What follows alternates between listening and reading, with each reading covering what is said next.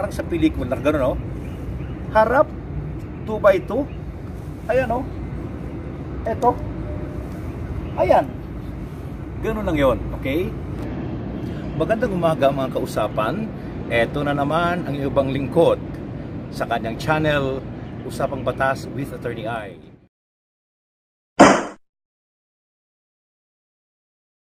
Ngayong araw ating pag-uusapan kung paano magsampa ng kasong kriminal sa piskalya at ano ba dapat ang ihanda bago magkaso ng isang criminal case against sa isang tao. Inaway ka ng iyong kapitbahay dahil hindi mo siya pinapansin. Ikaw ay nilusob sa iyong pintuan at ikaw ay pinagmumura.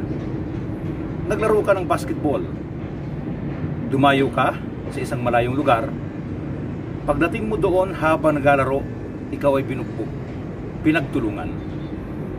Tinanggal ka sa trabaho,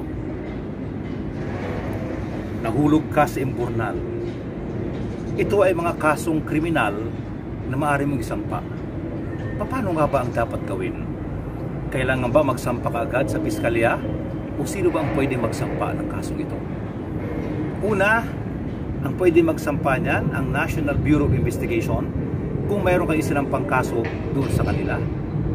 Pwede rin ang pulis magsampa ng kasong kriminal na complaint affidavit before sa piskalya ang pribadong abogado.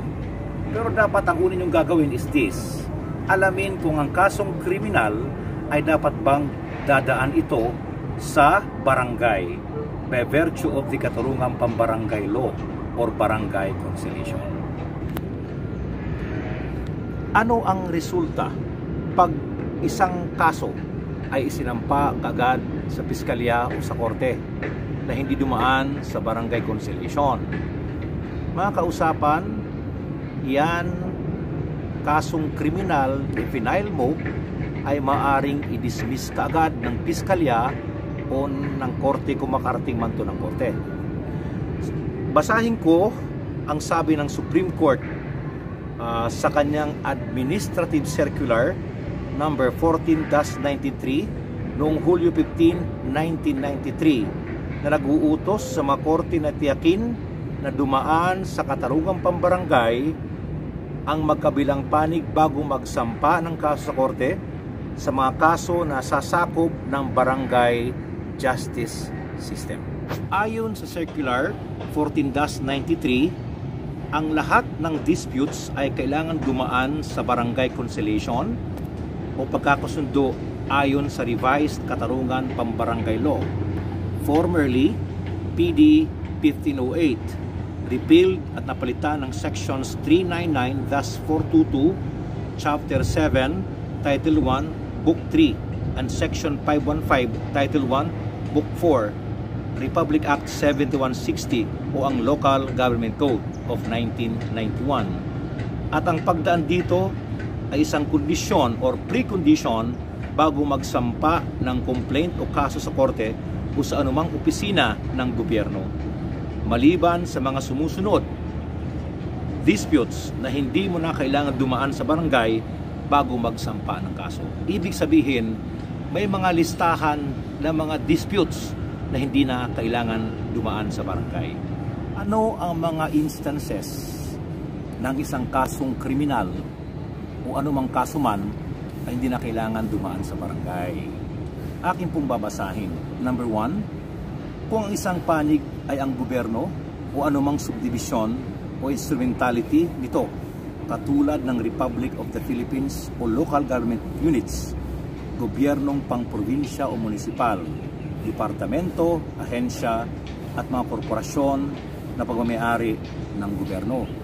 So hindi na yan kailangan dumampa sa conciliation ng barangay. Pangalawa, kung ang isang panig ay opisyal o kawani ng gobyerno at ang dispute ay may kaugnayan sa pagtupad ng kanyang opisyal na tungkulin. Hindi rin na kailangan dumaan pa yan sa barangay conciliation. Kung ang disputes ay kinapapaluban ng real properties pag-aari, real properties tulad ng lupa o paupahang apartment na matatagpuan sa magkali magkalibang bayan o syudad maliban ang magkabilang panig ay magkasundo na sila ay sumailalim sa pag-ayos sa isang lupon na kinaroonan ng isa sa mga real properties. Ibig sabihin, ang real properties pag ang mga partido ay magkaibang tinitirahan, magkaibang bayan, hindi na kailangan dumaan pa sa barangay conciliation. Number 4, anumang complaint o para o laban sa isang korporasyon, partnership o mga organisasyon nilikha ng batas o rehistrado sa Securities and Exchange Commission sapagkat ang mga individual lamang o natural person ang maaring humarap sa isang barangay conciliation proceedings bilang nagreklamo o inreklamo. Tandaan nyo, ang mga tao lamang, individual persons, ang pwedeng magreklamo at ireklamo before the barangay conciliations. Disputes na kung saan ang mga sangkot ay nakatira sa mga barangay sa magkabilang syudad o munisipalidad. Maliban na lang kung ang nasabing barangay ay magkatabi at magkasundo ang magkabilang panig na sumilalim sa isang lupon. So kung kayo ay magkaibang kung kuwari, ang isang tao, ikaw ay nakatira sa San Juan City, ang isa naman nakatira sa Marikina City, magkalayo ang syudad na yan, so hindi mo na kailangan pagdumaan sa barangay conciliation ayon sa katalungan pang barangay law. Pero kung magkalapit naman ang iyong barang ang iyong syudad, sa Limbawa, San Juan at saka Quezon City, malapit sa boundary, pwedeng pag-usapan ng partido na sila ay humarap sa barangay conciliation. Number 6, paglabag sa batas. Eto, dahil ang pinag-uusapan natin ay paano magsampa ng uh, kasong kriminal. Number 6, ito ang importante. Paglabag sa batas o krimen na pinakamataas na parusa ay higit sa isang taong pagkakulong o multa na higit sa 5,000 piso Ibig sabihin nito, kung ikaw ay magsasampa ng kaso laban sa kapitbahay mo, dapat dumaan ito sa barangay conciliation. At kung uh, ang pinakamataas na parusa naman ay hindi higit ng isang taon, dapat ito'y padaanin din sa barangay conciliation. At kung ang multa naman ay mas baba sa 5,000 pesos, dapat din itong dumaan sa barangay conciliation. Mga paglabag na walang pribadong panig Ibig sabihin dito, pare, mga korporasyon, maaari bang magsampa ka ng kaso sa barangay against a corporation? You cannot do that. Hindi pwede. Dahil sabi nga ng katurungan pang barangay law, mga paglabag na walang pribadong panig. Disputes na nangailangan ng kagyat na aksyong legal upang maiwasan o matigil ang kawalan ng hustisya katulad ng mga sumusunod. Ano ang mga disputes? Ano ang mga usapin na dapat mabilisan o kailangan kaagad? maaksyonan. Una, mga kasong kriminal na kung saan ang akusado ay nasa kustodya ng kapulisan o nakadetine. So a detained person, hindi na kailangang dumaan pagtungkol sa detained person. Petisyon para sa habeas corpus ng isang taong nawala ng legal na kustodya sa isang tao o petisyon para sa sariling kustodya. So petition for habeas corpus. Number 3, C. Complaint o kaso na may kasamang provisional remedies. Provisional remedies nasa rules of court ito mga, mga kausapan uh, like preliminary injunction, attachment, delivery of persons, of personal property, support during dependency of the action. D. Complaint o kaso na maaaring mapaso o hindi may sampa sa kadahilanan ng paglipas ng takdang panahon para ito ay may sampa ng korte sa statute of limitations. Pag uh, ng statute of limitations, hindi na kailangan dumaan pa sa barangay. Number 9, anumang uri ng disputes na pagpapasyahan ng presidente sa ngala ng katarungan o ayon sa rekomendasyon ng Secretary of Justice.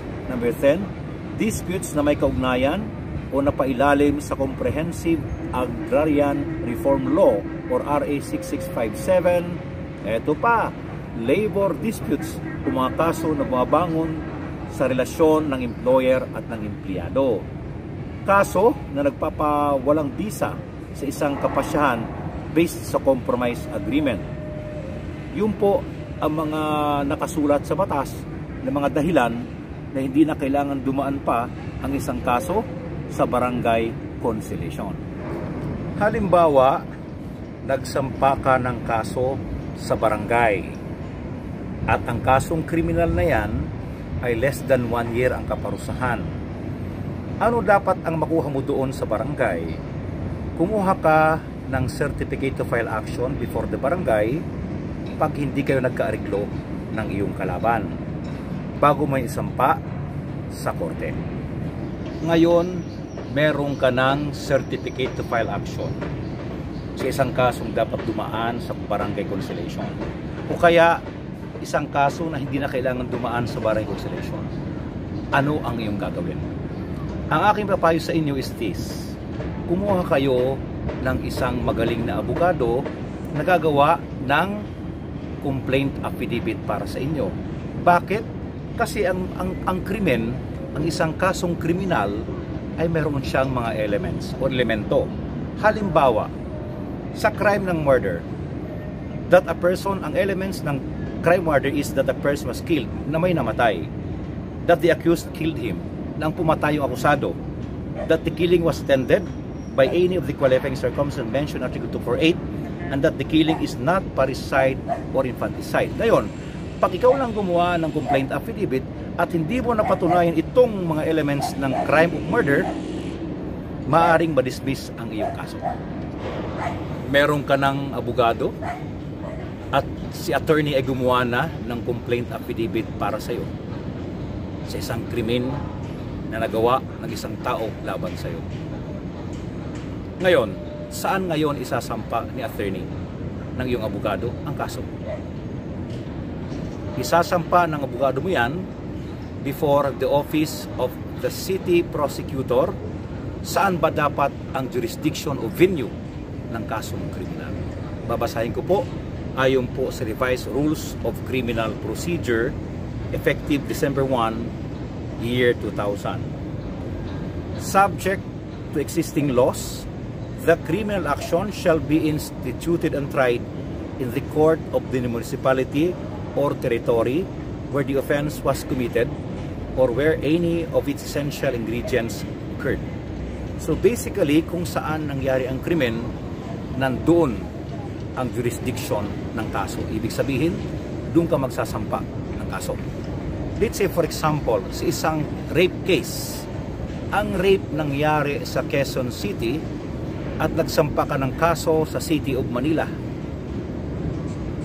Ang resulta po dyan is this, pagkasampa mo sa piskalya ng kasong yun, ay maaari pong dismiss yan ng piskalya dahil walang jurisdiction ang City of Manila dahil ang nangyaring krimen, ang rape sa Quezon City. B. Where an offense is committed in a train, aircraft, or other public or private vehicle while in the course of its trip, the criminal action shall be instituted and tried in the court of any municipality or territory where such train, aircraft, or other vehicle passed during such its trip, including the place of its departure and arrival. Kuwari sumakay ka ng bus or isang train at may nangyaring krimen while the bus was ongoing.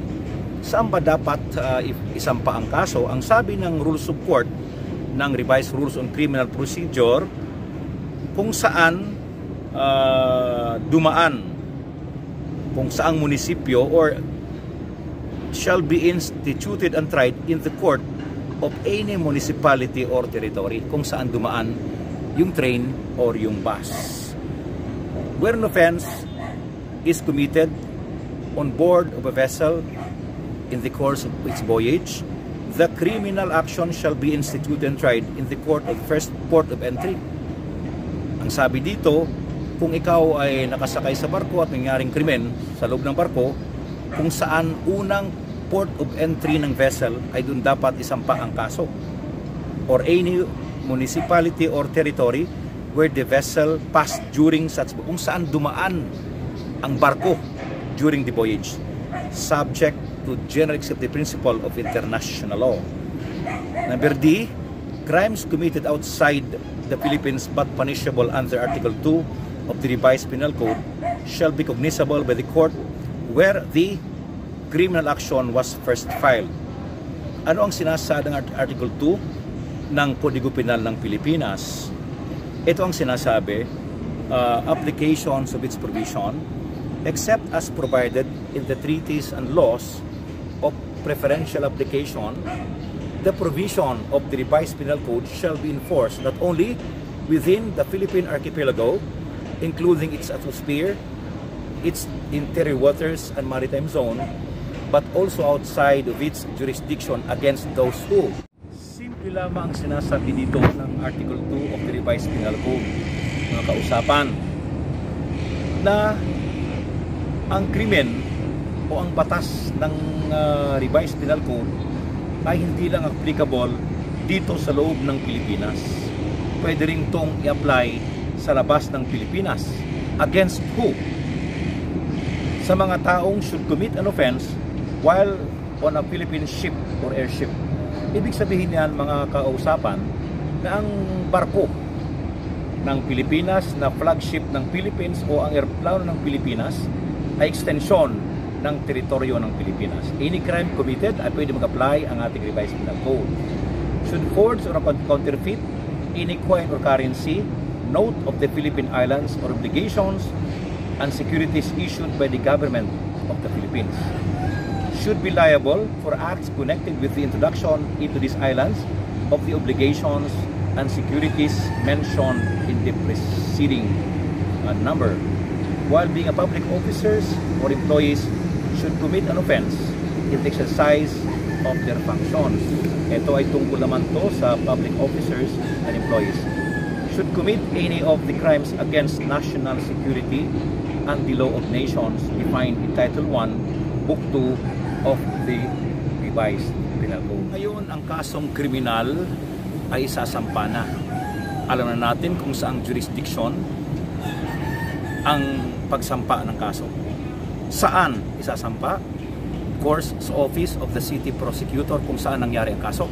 Based on the provisions of the revised rules on criminal procedure na sinabi ko kanina. Ngayon, ano dapat ang isasampa? Ipa-file before the Office of the City Prosecutor. Ipa-file niyo yan ang complaint affidavit or salaysay ng pagreklamo isasabit yan doon sa Office of the City Prosecutor. Ngayon, pagkasampa nyo ng salaysay or complaint affidavit, ano mangyayari?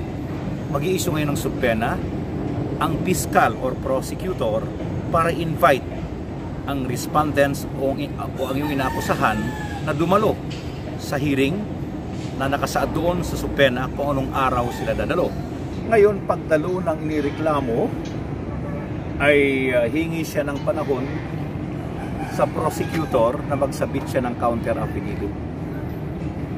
Nakaset ulit ang ibang araw kung kailan siya magsabit ng counter affidavit. Pagkatapos na sa isang araw nakaset ang, ang submission ng counter affidavit, at pag nagkita sila ng ang nagreklamo at saka inreklamo, uh, pagkabigay ng copy ng counter affidavit sa nagreklamo, hingi naman ang reklamo ng days also ng isang araw naman para magsabit naman ng reply affidavit. Pagkatapos niyan, ang susunod naman dyan ay rejoinder affidavit para naman sa inaakusahan. So ano ba ang mga procedures, ano ba ang mga papel na dapat ginagawa during the so-called preliminary investigation? First, magka-file ka ng, counter, uh, ng complaint affidavit. Then after that, the counter affidavit sa, sa inaakusahan The third is reply affidavit sa nag-aakusa. Then the fourth is the rejoinder affidavit.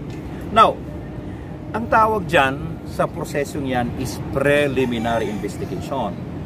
Babasahin ko po ano ba ang preliminary investigation.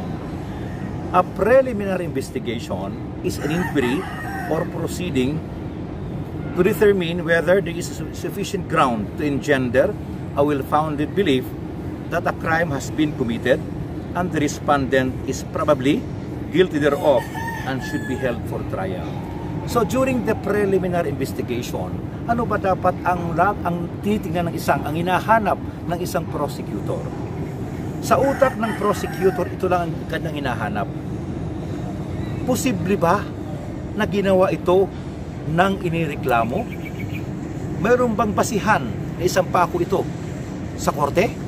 Ngayon, Kung ang sagot ng prosecutor is mayroon, ang gagawin niya after sa apat na yon, after the submission of rejoinder affidavit, ang mangyayari ngayon is this.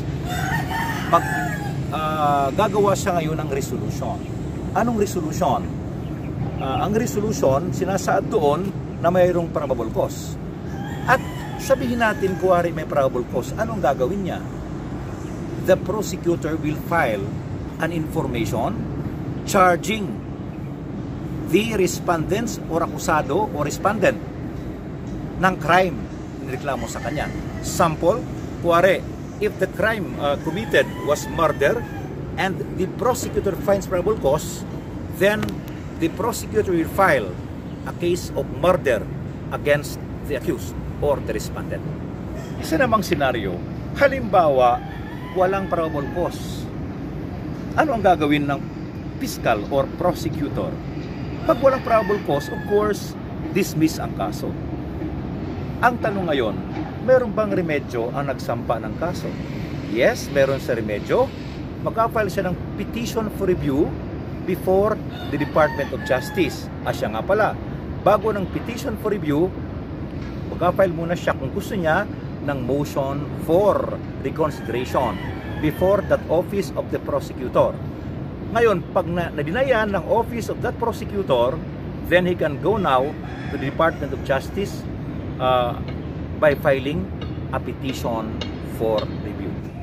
Ano ang mangyayari ngayon kung nagsampa ng kasong kriminal o information ang Office of the City Prosecutor nag-conduct ng preliminary investigation.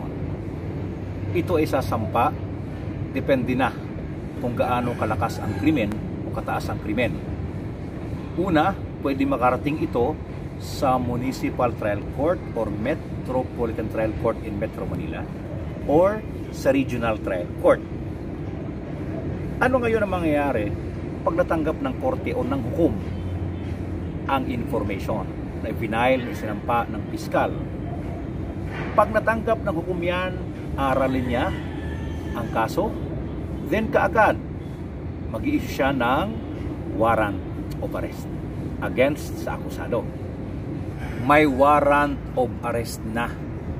O sabihin natin, may warrant of arrest ka na, mga kausapan. Ito ba'y nakakatakot? Kailangan ba magtago ka agad at hindi na magpakita? Mga kausapan, may remedyo naman po. Pag na-issuean ka ng warrant of arrest, basta importante, bailable yung kaso. Nakalagay naman yan sa resolution ng piskal bail recommended. So anong unang gagawin mo? Alamin mo muna kung magkano ang bail na recommend ng fiscal. Kung ang bail is 20,000, of course, you have to post a bail. Ano mga kailangan bago mag-post ng bail? Una, pwedeng cash bond. Magdala, mas madali, mas magdala ka ng pera sa korte.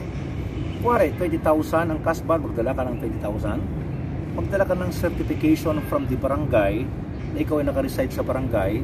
At of course, magdala ka rin ng sketch na sign din ng taga-barangay. At picture, alam niyo parang sa pelikula gano'n, no? Harap, 2 by 2 Ayan, no? Eto. Ayan. Ganun lang yon okay?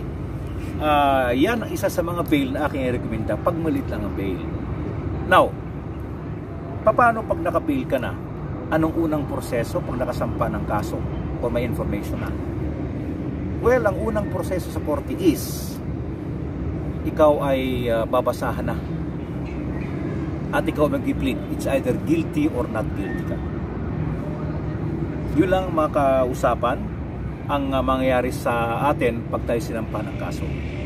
At sana subaybayan nyo aking channel. Siya nga pala, uh, shout out nga pala sa Kamos Dental Clinic sa Palanan Makati. Salamat pala Doktora Kamos kay uh, Ronald uh, Dent Repair uh, magandang umaga rin sa'yo at of course kay William Meneses magandang umaga rin sa'yo kay Gio Escoto uh, Konsihal Gio Escoto ng Borongan City likewise Glenn Escoto board member ng uh, province of Eastern Samar to Vice Governor Dindo Picardal magandang umaga sa inyo. And of course, to Lyra Limbawan, Konsihal Lyra Limbawan, shout out sa inyong lahat. Salamat sa pakikinig.